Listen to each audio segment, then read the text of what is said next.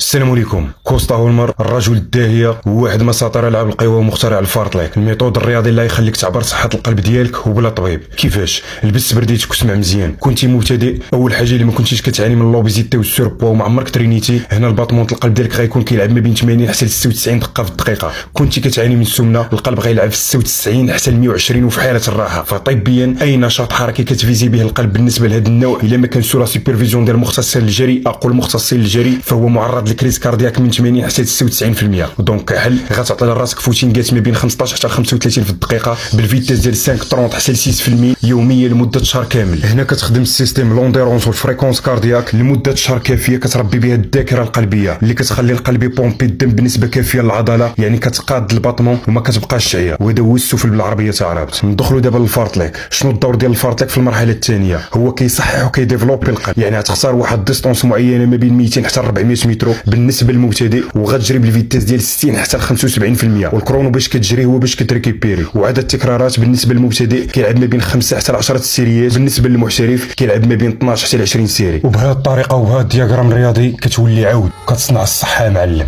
وديها في ودنيك الفورمة ماشي رياضة. اديلاندي